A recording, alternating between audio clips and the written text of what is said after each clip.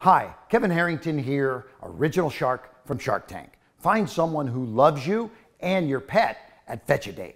We all know life without love can be rough. And when it comes to picking a partner, your pet is part of the pack.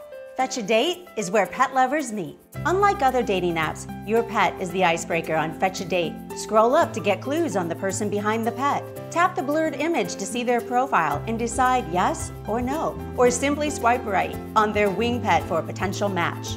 We get it. Some people may be in between pets. In that case, no pet, no problem. Choose a virtual pet. At FetchaDate, people are matched based on personality and values, not just looks.